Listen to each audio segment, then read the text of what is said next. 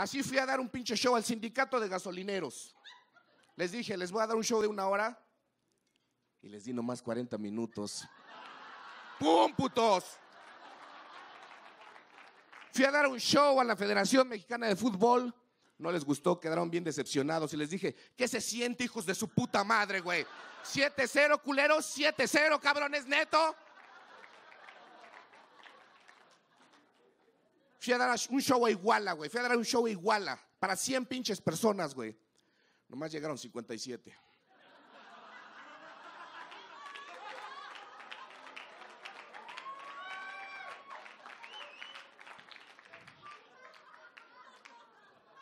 No sé qué habrá pasado. Mira, yo no pregunto, güey. Yo solamente hago mi trabajo, güey.